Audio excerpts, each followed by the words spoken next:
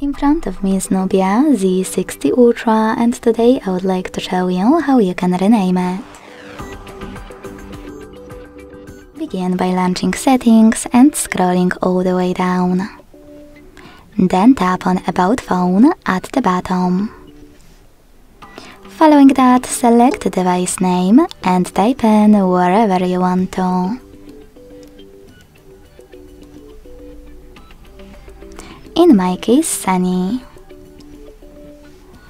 When you're ready, hit save. As you can see, after that, name of my Nubia has changed. Thanks so much for watching. If you enjoyed this video, leave a like, comment and subscribe. Bye!